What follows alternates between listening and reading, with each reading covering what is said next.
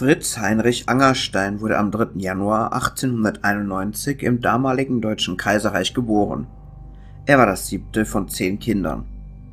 Er litt früh an Tuberkulose und man musste ihm bereits früh eine Rippe chirurgisch entfernen. Mit 14 Jahren begann er in einem Büro für Landvermessung zu arbeiten und 1911, also mit 20 Jahren, heiratete er. Seine Frau war hysterisch und hatte sechs Fehlgeburten. Das Paar blieb kinderlos. Zudem litt das Ehepaar zusätzlich unter Angersteins Schwiegermutter, die eine absolute Tyrannin gewesen sein soll. Das ging so weit, dass das Ehepaar, schwer krank wie sie zudem waren, gemeinsam Suizid begehen wollten, doch sie brachen den Versuch, sich gemeinsam zu ertränken, ab. Er verdiente gut, doch sein Arbeitgeber schuldete ihm noch Geld, weshalb er in Geldnot Gelder unterschlug, während seine Familie inklusive Schwiegermutter, Schwägerin und Magd in eine kleine Villa in Firmenbesitz zogen.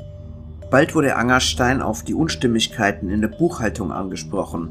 Zudem versetzten sechs Schüsse, die vor dem Haus bei einer Feier abgegeben wurden, seine Frau derart in Unruhe, dass sie starke Schmerzen und blutigen Durchfall bekam.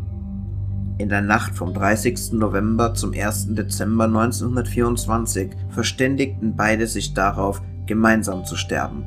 Als seine Frau erneut in Ohnmacht fiel, stach er mit seinem Jagdmesser 18 Mal auf sie ein und rannte dann aufgebracht in sein Studienzimmer, um sich, wie geplant, selbst zu erschießen.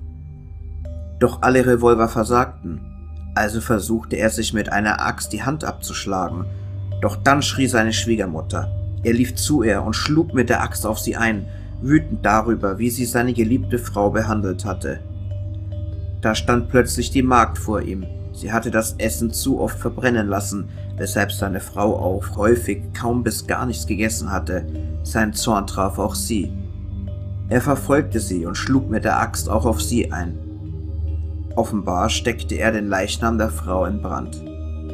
Er kehrte ins Schlafzimmer zurück und hackte wie im Wahn auf die Leichen seiner Frau und seiner Schwiegermutter ein.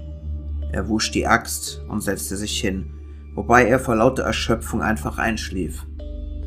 Als in der Nacht seine Schwägerin auftauchte und ins Badezimmer ging, griff er sie von hinten an und tötete sie. Am folgenden Morgen kamen der Buchhalter und ein Angestellter nacheinander in die Villa, um die Buchungsauffälligkeiten zu besprechen doch Angerstein lockte sie einzeln in sein Büro und erschlug sie mit der Axt. Zwei weitere Männer mussten sterben, weil Angerstein glaubte, sie hätten etwas mitbekommen. Er hatte zu einem unbekannten Zeitpunkt auch seinen Schäfer unterschlagen und in den Keller gelegt. Er verschüttete Benzin in der Villa und ging noch einmal einkaufen. Zurück im Haus stach er auf sich selbst ein und zündete das Benzin an. Doch er wurde gerettet.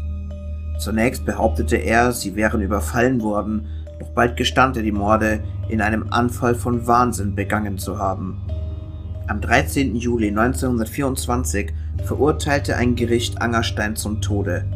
Er akzeptierte die Strafe bereitwillig und erklärte, dass er keine Gnade wünschte.